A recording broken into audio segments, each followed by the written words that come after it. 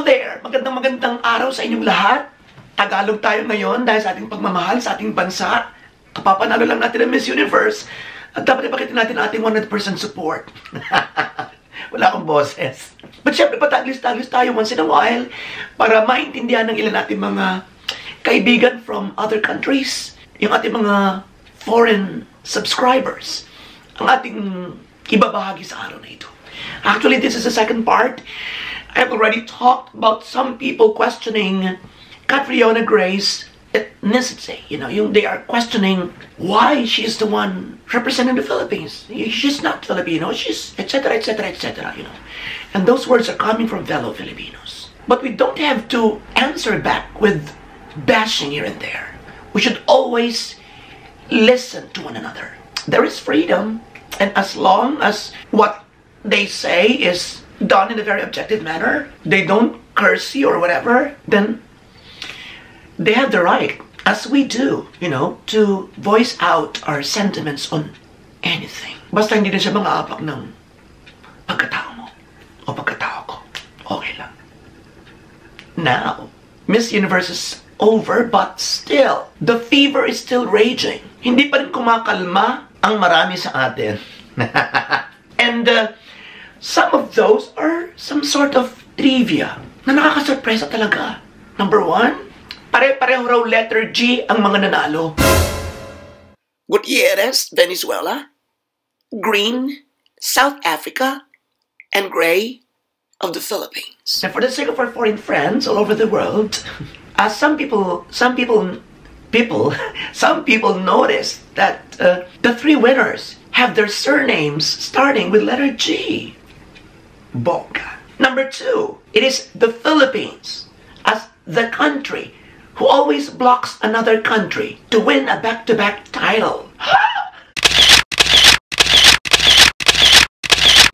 Very interesting, right? So if you have more interesting observation or facts, please share it with all of us. Just comment down below. Now, the highlight of this post, of this vlog, is this allegation that unfair or bias ang yung dalawang ano, commentators laban sa Pilipinas. At dahil naniniwala ako sa karapatan nating bawat karapatan ng bawat isa sa atin ang you know, to shout out to the whole world our preferences. Beauty particularly is subjective, di ba? So, merong kalayaan ng bawat isa na ipahayag ang kanyang gusto. But it doesn't mean na hindi ko halata rin yung kanilang pagkaayaw sa Pilipinas. Hindi ko ito pinaniniwalaan ng 100% because I don't know them and hindi ko nababasa yung puso nila. And because nga naniniwala ko that, you know, we should we should be fair. We should listen to each other's opinions. Everyone's opinion matters in this world. So hindi ko sila pwede akusahan, pero yung pakiramdam ko, di ba? Kagaya rin ninyo. Na tipong, last year pa, ito, dalawang ito. Lagi na lang parang hindi nakikita yung Pilipinas, yung, yung representative ng Philippines. Na parang, hoy, hoy, hoy, pakibanggit naman nakaligtan mo, maganda rin naman siya magdala ng gown, no? It's something like that. Tipong naiinis ka talaga. And this year, very evident talaga yung hindi nila pagkagusto sa Pilipinas. Hindi ko sinasabing mali. Again, may karapatan ng bawat isa. Pero, yun. Matapang nilang pinakita ang kanilang top 3 choices at hindi nila talaga gusto para sa top 3 si Catriona.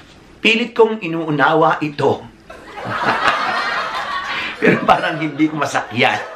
Kasi lutang naman talaga. Hindi ko sinasabing hindi deserving yung dalawa na manalo. Of course, pero, you know, the performance of Catriona. And, you know, just the image that she projects. She was the winner. And, igalang na lang natin. Yung kanilang preferences. So, what's the name of that guy? I forgot. I knew that guy from way, way back because I forgot the title, but it's sort of straight guy from a queer's eye. Something like that. What's the name? Wait. Yeah, Carson Kressley and Lu Sierra. And, you know, there's so much hate, there's so much anger, you know, on social media. I'm sure that it has reached their radar. And maybe they are now reflecting on what they have done. Most probably. But, you know, Lu Sierra is a little bit outspoken, and uh, maybe some people would call her a you know, bitchy bitchy, but uh, uh, maybe she was just being honest about what she feels. Maybe she really likes the other candidates in the Philippines. A host must really be impartial. They must not give side comments, but they are, you know, backstage commentators. Is that the right term for them? And I think that's really required of them to do. You know, giving their smart opinions, however unbiased they are. Smart and unbiased. but I watched Lu Sierra. She was a guest at show in the Philippines, and she even said that, "Come on, Philippines, come on, invite me back once again, invite me back." It's my first time in the Philippines, but please have us come back. Please, please, please have us come back. Thank you. Definitely we will. We'd love to have you again. Thank you very much, Lou. Thank you. At yan po ang ating... Uh, like that. When she was in the Philippines during the Miss Universe 2016 that was held in 2017 January in the Philippines. So you wouldn't see any hint that she would dislike the Philippines or any Philippine representative at that. Because last year she was also a little bit cruel to Rachel Peters. Here, this year, during the gown competition of the top 10, I think, or top 5, she talked, in fact, nicely about the Philippines. She's got this sultry, sultry peg, sort of that. So I think it was not really 100% that she didn't like the Philippines. Or maybe she was just trying to be impartial. Maybe, just maybe.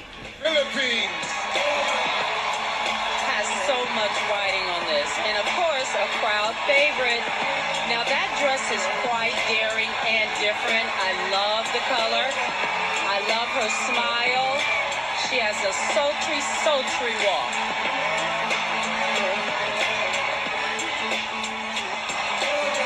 But it was very open. It was out that they didn't choose the Philippines in their top three list, and it is their right to do so. Just like each and every one of us. Meron tayong kanya-kanyang choices. Who do you guys think had the hardest question? I think South Africa had a really difficult question. Yeah, she did. Yeah, and I think Venezuela too. You know, the question about the whole pageant idea is very topical in this setting. Yeah, but she did a good job. Okay, so now it's time to play the Miss Universe game. Okay, so we all wrote down our top three picks on a card during the commercial, and now let's each all of us reveal our final three. Lou, you go first. Okay, there we go. Okay, Puerto Rico, South, South Africa, Africa, and Venezuela. Person. Can I say first of all that I was shocked that Thailand did not make this top I five. know. Very shocked about that. Here are my top five. Oh wait, that's the wrong. Wrong card. Here are my top five: Vietnam, South Africa, Puerto Rico. And I'm South Africa, Philippines, Venezuela. Okay, so we're gonna see who made the cut. Back.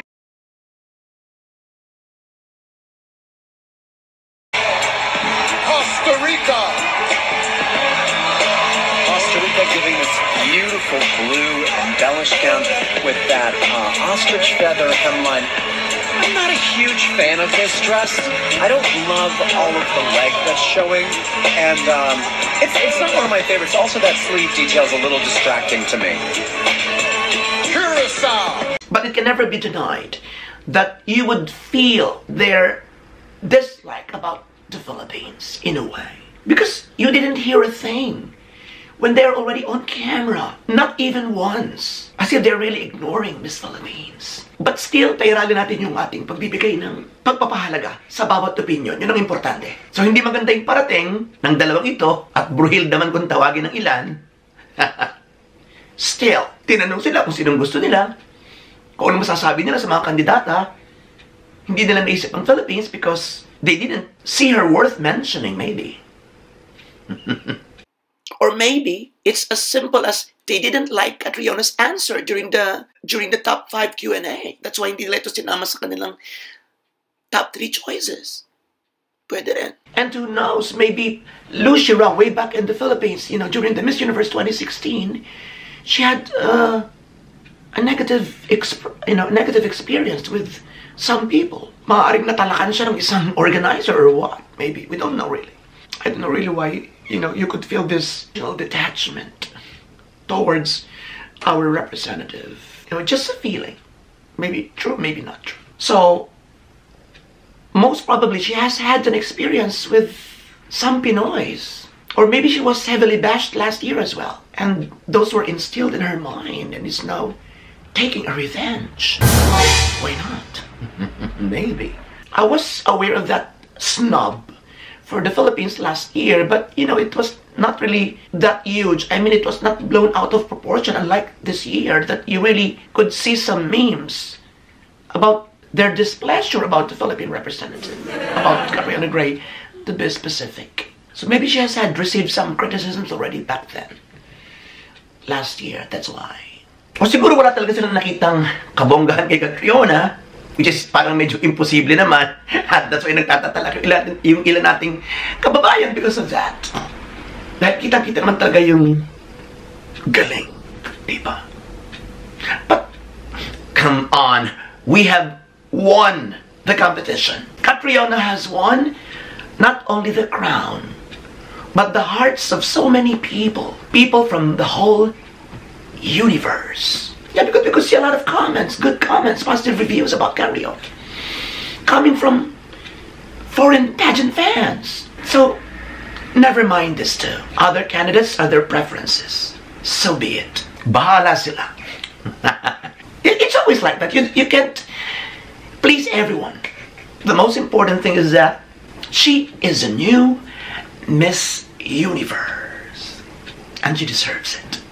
Maraming salamat sa inyong lahat.